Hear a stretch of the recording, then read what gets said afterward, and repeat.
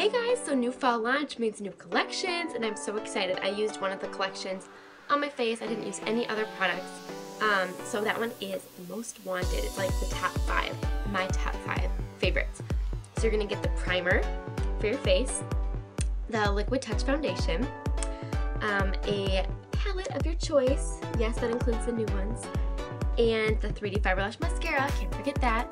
And then a lip stain of your choice as well. Um, I actually used the palette on my brows and my cheeks, so there's a lot of possibilities. Um, I really love this look and I hope you do too. Thanks for watching. So I'm going to start off with our Glorious Face Primer. This is the old packaging. Obviously you'd be getting the new packaging, but same great product. Here we go.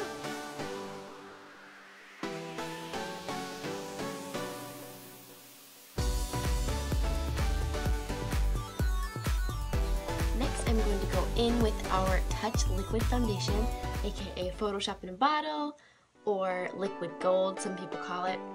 Um, so you just make sure to shake it up, and then just get a couple drops on your dropper, and it applies liquid and dries to a matte finish.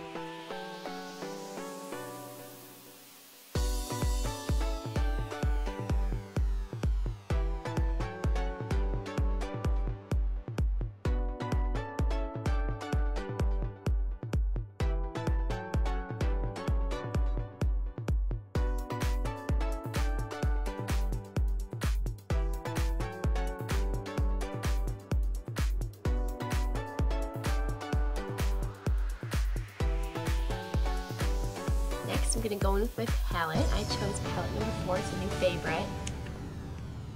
Um, so it has some neutral browns and some fun blues.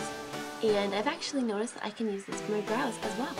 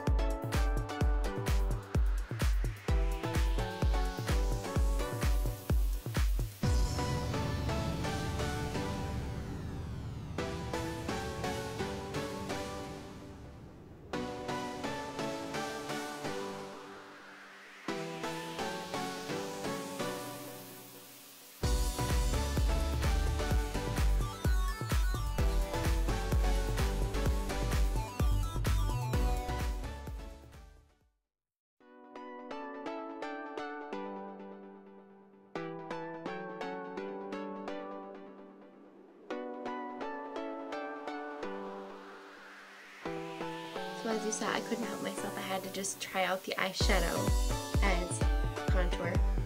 I'd say it looks pretty good. Um, the fourth step is the 3D Fiber Lash Mascara. It is a two-step process with gel and fibers, and then you seal with gel. So I guess that makes it three. Um, so you start with the gel, it's like a regular mascara, put it all over your lashes, put the fibers on the tips, let it dry a little bit, and then seal with the gel. Always seal with gel.